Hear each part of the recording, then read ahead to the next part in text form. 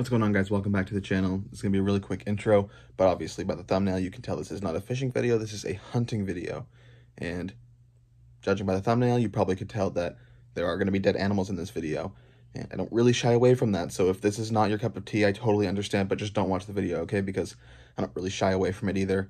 Um, and this was really kind of really exciting for me because it's been a while since I shot a deer, spoiler alert. Um, but like I said, it's not, I know it's not for everybody, so uh, if you don't want to watch, you're not gonna feel offended. Just don't. All right. New fishing videos will be coming soon. I hope you guys enjoy. What's up, guys?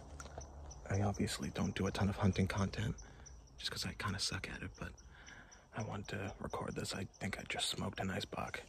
Um, I just shot. I've shot very little deer before, one doe a couple years ago, so uh, it still it's still really exciting for me. But I kind of wanted to explain how it happened because it was it was a really, really cool experience. Right now, I'm just kind of giving the, hopefully giving the deer some time to drop. I'm gonna go down and check to check for blood here in a, probably four, five or six minutes. But like I said, I just wanted to kind of, kind of go through how it happened because it was, it was unbelievable. It was so cool. So I'm watching this kind of low area swamp-ish, kind of, there's a river down there. And I heard a deer running over on this side and I kind of saw him right over here and I saw he was like a smaller buck like a, maybe a four-ish pointer. And I saw him running here but he just kept out of sight and he was running pretty quick. And he probably got to this thick area of trees right here and I got my grunt call out and I grunted a few times. And I heard them coming back and right here onto the right side of this these trees where it kind of clears up. I saw that there was a doe that came through first and she ran all the way up this hill. And the spike kind of stopped right behind these trees right here so I could kind of see his tail flicking, but I didn't have a shot at him. And so I thought about turning to try to shoot with that doe because I have a doe permit for here.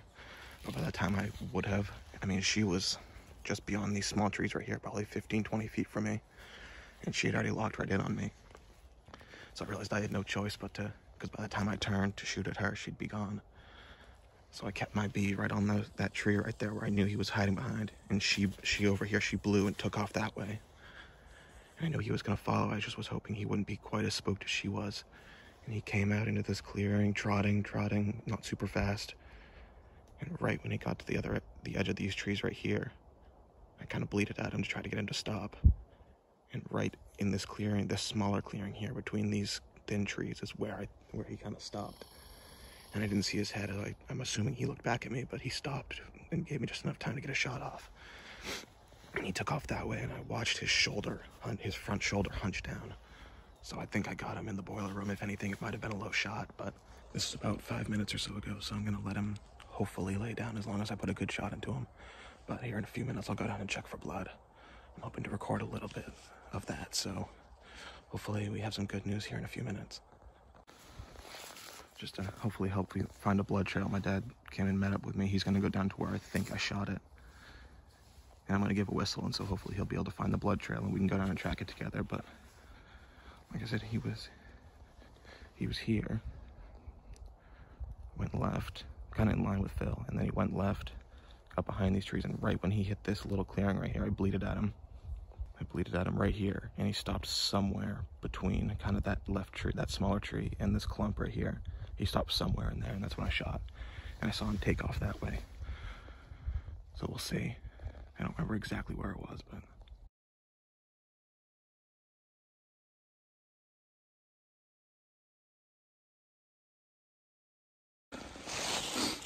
Hey, buddy. Yeah. He didn't go very far, guys. He went probably, what do you think? Probably, yeah. He didn't go far. We went down there and pretty much right away found really good blood. And, well, here he is. Clearly I did something right finally.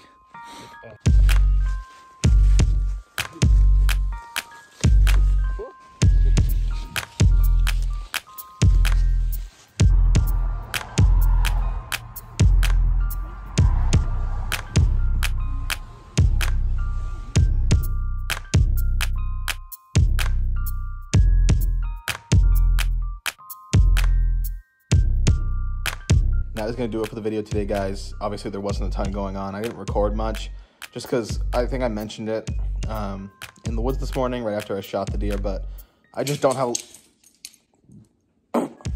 I just don't have a lot of confidence uh, in hunting, so I really just try to focus on kind of doing the right things. Um, fishing is more kind of second nature to me at this point. I've done it a lot more, so it's a lot easier for me to just strap a GoPro on and and kind of just do my normal thing. But hunting is definitely a different animal for me. I don't know if I ended up putting anything in the kind of the video that I took of us putting deer up on the scale, but it weighed about 130, 132, I think was the actual number. Uh, it was tough to tell tell because it was one of those old analog scales, it wasn't digital or anything.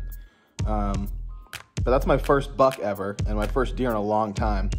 Like I said, I don't hunt a ton, and that's mostly because I just haven't had a lot of luck and experience hunting, so it's been kind of a drag.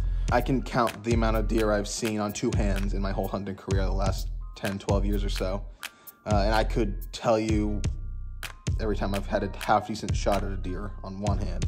So I just haven't seen a lot. But I've seen a lot of deer this year, so I've been a little more motivated to be in the woods. And clearly it paid off. I wasn't even in there that long today. I was I went in around eight and I shot that deer about 9:45, 9:50, so less than two hours today. But I just wanted to share that story with you guys because it was it was just unbelievable the way everything played out. Um, if you guys want to see more hunting stuff, let me know. My dad and I were talking about bringing this deer to a processor and having them cut it up just to save us kind of the time and the effort on it. But my dad processes the deer all the time, and I'll usually go help him, uh, just kind of be the the helper. If that's something you guys want to see, definitely let me know in the comments. I'd be happy to just kind of change his mind. We he'd be happy to process it, and we could record it and kind of go through the steps, at least his steps, because obviously everyone does it a little differently. And then I also thought at the end of the whitetail season, I thought about going out with maybe cousin Nathan or something like that, and just doing some squirrel hunting for fun.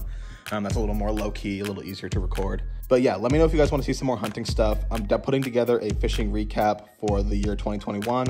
That probably will be the next video, which won't be till at the end of December. You'll see this. I may do like a squirrel hunting video, who knows.